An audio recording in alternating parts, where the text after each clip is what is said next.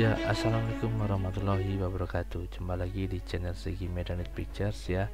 Pada kesempatan kali ini hari Minggu tanggal 23 Juni 2024, saya akan kembali mengupdate proses pembangunan tol Cimanggis Cibitung, tepatnya di Simpang Susun atau Exitol Setu Utara nih guys. Nah, seperti apa update-nya? Kita saksikan video ini sampai selesai. Cekidot.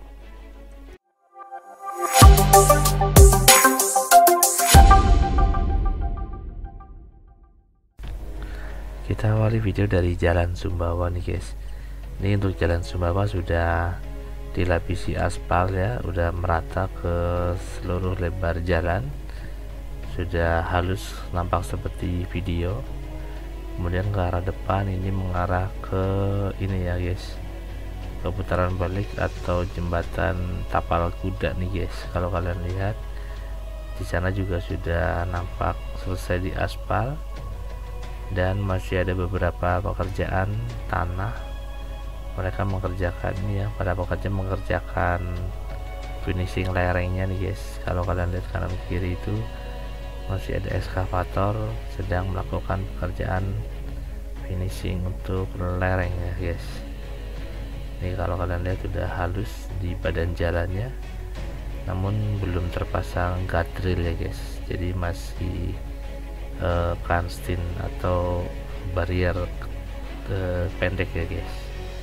Namun di badan jembatannya sudah ada hard barrier yang cukup tinggi satu setengah meter ya guys.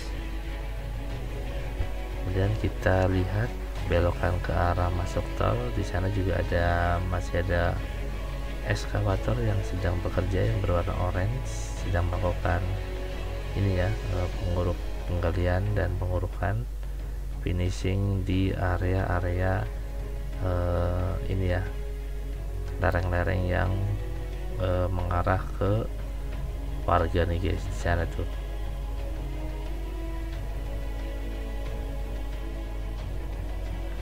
Nah di sini uh, terdapat ini ya galian-galian tanah yang dipakai untuk kurugan nah nampak kubangan-kubangan air di sana adalah bekas-bekas galian tanah yang tanahnya dimanfaatkan untuk urugan di putaran balik ini guys. Nah di uh, ini adalah jalan-jalan tikus uh, itu ya yang dulu jalan tembus ke jalan Rabanteng ke arah uh, Sembawa sudah terputus sekarang. Nah kalau kalian lihat di abutmennya juga sudah dipasangi pasangan batu ya guys sudah rapi. Progresnya nampak eh, pesat dari dua minggu yang lalu guys. Nah kita lihat ke sana. Nampak juga sudah halus namun masih ada yang kurang yaitu pemasangan guardrail. Nanti kita update lagi untuk uh, minggu depan ya guys. Nah ini progresnya untuk di area ini. Yang tertinggal hanya ini guys di uh, pintu masuk tol Setu Utara. Nah ini kita lihat lebih detail, kita terbang rendah untuk melihat seberapa progresnya ya untuk pengaspalan yang telah dilakukan beberapa hari ini guys.